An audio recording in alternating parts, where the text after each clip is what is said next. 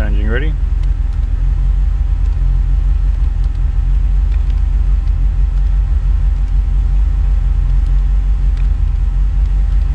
That's just trimmed up the injectors by 20%. So now I come back over here and it comes back about 13 to 1 which is what I was running on the normal fuel before.